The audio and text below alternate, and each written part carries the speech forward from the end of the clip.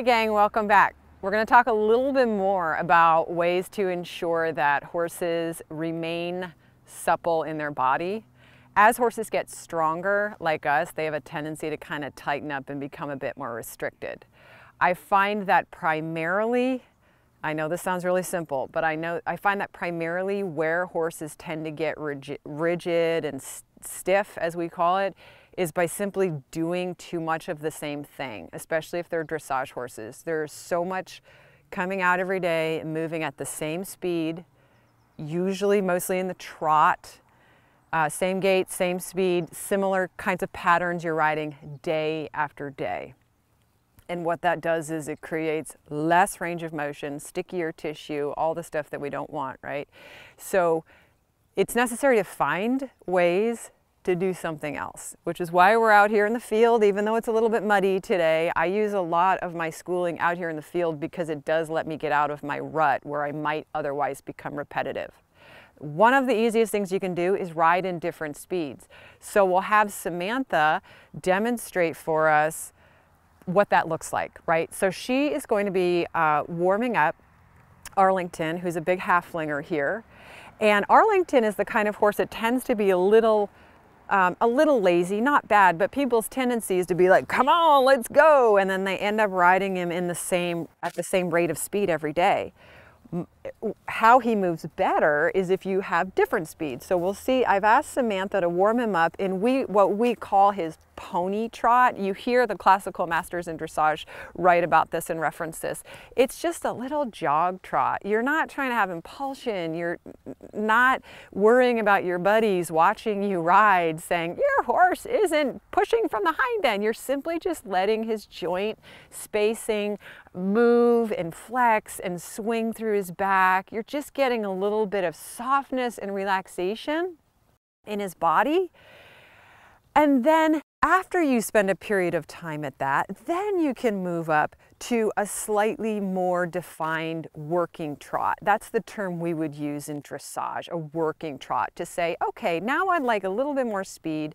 And so now Samantha's, you can see he thought he was supposed to canter there. So now Sam's asking him to move out a little bit more. You'll notice that now he's fully tracking up into his front prints. He has a little bit more animation and he's covering a little bit more ground every speed. So what we'd like you to do, Sam, is when you get back to your starting point, go ahead and downshift again to that slower trot so we can look at that and see what changes about Arlington's body mechanics, if anything.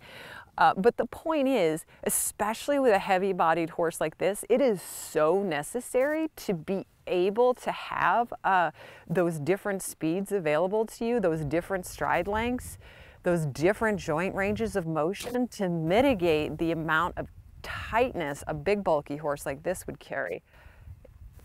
Yeah, there we go. So Sam downshifted. And that was actually a nice smooth downshift. Good. So we see that right now Arlington's not as fully tracking up into his front prints, but notice he is starting to relax his back and his neck. He's not in as hollow of a posture as he was in the slightly faster trot. So what does this tell you? This horse needs to play between those two speeds to then settle in the ideal balance. That was a perfect demo, Sam. Thank you. So let's have you walk and then join us here in the middle for a second, Sam. So that's your first takeaway. Just ride in different speeds in terms of doing less of the same thing, which is our point here, right? Our second, the second thing that I encourage riders to do is to use the two-point position or light seat. So both of us now will go out onto the track and demonstrate a light seat. It's not, we're not in jumping saddles. This is not a classic two-point position. But basically, we're just going to keep our butt in a hovering seat. I find that this is especially important for people who do a lot of trail riding uh, and or Western riding. Um, many of those riders spend a lot of time sitting fully. Now that's not a bad thing, but none of us are symmetrical as human beings. And the point is, even if you're a pretty balanced rider, the horse's long back muscles are affected by all of our asymmetries, right? We're, we're always applying uneven pressure to their long back muscles. And when they're moving over time, that accumulation of uneven pressure starts to change their gait. So one of the easiest, you notice I like things to be simple. One of the easiest things you can do is simply unburden their back and keep them in a nice steady rate of travel. So let's just go ahead and do that together. We're just gonna trot, Sam. This just gives you all a chance to see two different horses moving. So I'll start out just in a normal uh, posting trot, and then I'll come up into what I like riders to do with their light seat. And again, like I say, especially Western riders or riders who are used to riding in kind of a bigger, heavier saddle, which does a lot of your support for you. So I'm gonna come up, I'm gonna keep my same rein length. I'm not doing this with my arms. I'm gonna keep my arms here and I'm gonna come up into a hover seat. So my butt is out of the saddle, just hit a little muddy patch there. And I'm keeping the same rhythm, right? One, two, one, two, I'm looking forward. And what this does is allow Diamante to just find some healthy movement. He's picking his way through the mud here. There we go. And just cruise and just get rhythmic and not have me inundate him with my habituated dressage training. And then you can look at Arlington, the horse behind me, for a totally different uh, body type and movement. So getting up in the two point position or light seat, this is also incredibly good for developing rider fitness, but that might be a separate video that we do for y'all. Okay, now we'll just resume our posting trot. And I noticed that Diamante has a bit more freedom now than when I first demonstrated. Good boy, just let out a nice big sigh. So you can do it in your warm up or you could do it partway through your session. The good thing about being out here in the field is riders are more likely to break up their routine. It's hard to get arena riders to get up in two point position. They, they're overthinking everything and micromanaging. So we'll come on back to a walk and we'll demonstrate our last little bit here on how to break up the sameness. So what we're gonna do, and because it's a little muddy out here, we just had a big rainstorm this past week, so we're kind of working with the elements and making the video today. Um, we're going to demonstrate the canter. So I'll go ahead and go first and then I'll have you go, Sam, and we'll just kind of talk about what I want you to demonstrate, but we'll have you hang out over here for a second. I always advocate for riders. You have to learn to love the canter. Now, many people have a horse where the canter is just like a bone rattling, teeth jarring experience. And I know that's no fun. But even if you do it online as opposed to riding, it is necessary just to get it done. Uh, it is so good for the horse's body mechanics, for loosening his back, for developing that range of motion through the spinal joints. If riders ride, as I said in the beginning, too long in the same gait, same speed, you just develop restriction. So canter is one of the simplest ways to mitigate that. But let me demonstrate something real quick, because when I say canter, many of us, I mean, especially right now, because, you know, I'm on video, so many of us want to look good and have our horse in a good balance. And when things aren't going well, the temptation is to kind of avoid the canter because you know, this video could make its way on YouTube and people could say, well, Jack has no idea what he's doing, right? What's important is to remember the horse just needs to move sometimes. Like forget about your friends looking at you and analyzing you. So I'm just gonna get Diamante up into a canter.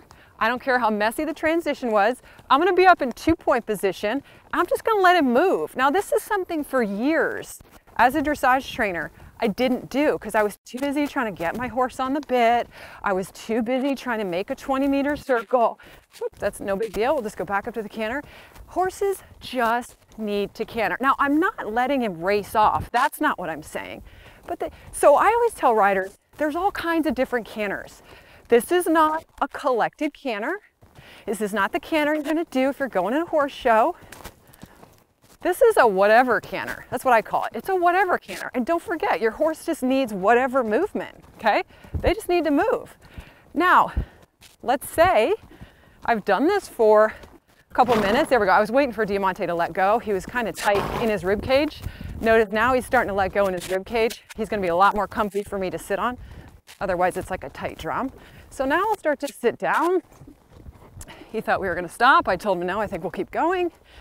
And now I'll ask him to get a little bit more organized, not collected, but like a working canter as much as I can today in the muddy field. So you start to see him come a little bit more uphill, and the rhythm gets a little bit more clear with the jump every step. So it's not that having the whatever raggedy canter beforehand precludes my ability to then get him organized. To the contrary, it helps me. get it more organized, okay? So let's go ahead and take a look at Arlington behind us, the Haflinger now. And Sam, what I'll have you do is if it's too slippery, you don't have to hold them in a canter, maybe just go in and out of the canter a little bit. And we'll have you use your two point position because this horse is a, uh, Arlington is a great example of a horse that um, actually when he came to me for training, he hadn't been cantered because they were waiting to get, you know, other things more balanced.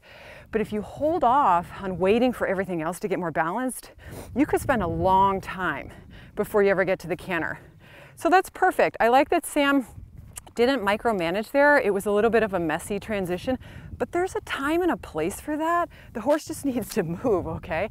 And not be um, prettied up or tidied or micromanaged. And so you see now Sam is using the light seat that we talked about before because that allows you to ride a horse that's more rough in his canter and help his balance better. Because if you're getting throttled all over the place, um, that was fine, Sam. And if you can make another transition, maybe just try one more time, that was perfect.